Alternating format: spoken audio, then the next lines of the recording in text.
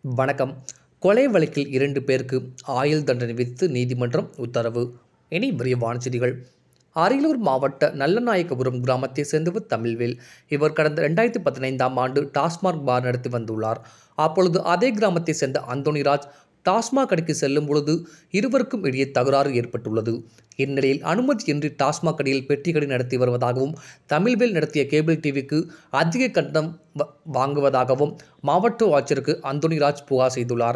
இதனால் இருவருக்கும் இடையே முன்விரோதம் இருந்து வந்துள்ளது. இந்நிலையில் அந்தோணிராஜ் கடந்த ரெண்டாயிரத்தி பதினைந்தாம் ஆண்டு வீடு கட்டும்போது வீட்டு கட்டுமான பொருட்கள் கழிவுநீர் வாய்க்காலில் விழுந்து வாய்க்கால் அடைத்துக் கொள்வதாக கூறி இரு தரப்பினருக்கும் கடும் வாக்குவாதம் ஏற்பட்டது.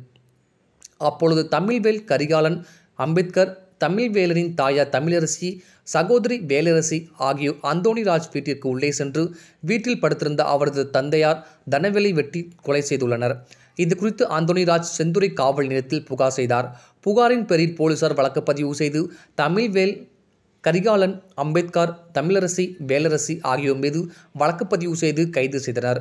இந்நிலையில் இது குறித்து விசாரணை அரியலூர் மாவட்ட கூடுதல் அமர்வு நீதிமன்றத்தில் நடைபெற்று வந்தது. வழக்கின் விசாரணையில் குற்றம் சாட்டப்பட்ட தமிழ்வேல் அம்பேத்கர் ஆகிய இருவருக்கும் ஆயுள் தண்டனை விதித்து நீதிபதி தீர்ப்பளித்தார்.